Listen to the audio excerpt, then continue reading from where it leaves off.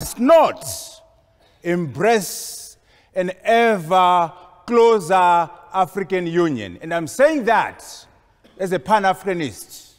Mr. President, sir, the debate here, this disagreement here, is not on the what, it's on the how. The what is shared. We want a united Africa operating with 1.2 billion Africans working together. Collective GDP, $2.3 trillion.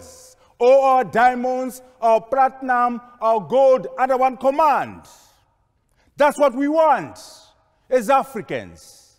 But I'm here, Mr. President, say, to say an ever closer African Union is the wrong vehicle. It won't deliver what we want.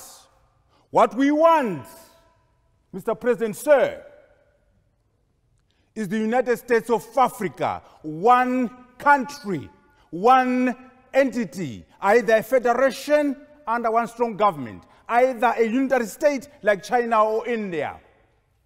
One entity.